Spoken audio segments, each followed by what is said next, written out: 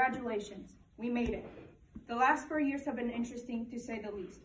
And it gets worse from there. That was the beginning of a boring speech that I was told to read two months after I had already written and rehearsed my speech. My speech was about my challenges and the challenges that the seniors at East Noble High School were about to face. My speech was about the teachers who had helped me get through high school and that made it fun along the way. My speech was personal, with humanity and humor. There was nothing offensive about my speech. There was nothing controversial about my speech. There was nothing political nor religious about my speech.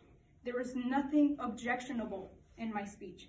There was absolutely nothing inappropriate about my speech.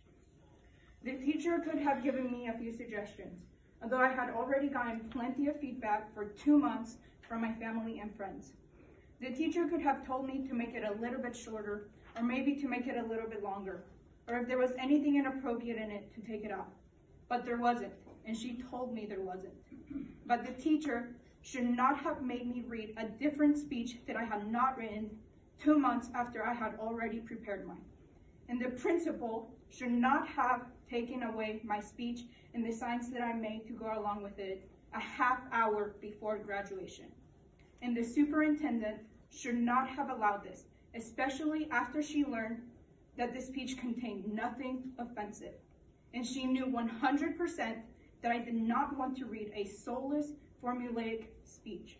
I do not believe this has ever happened before at any high school in America, where a student's speech was confiscated right before he or she was about to go on stage.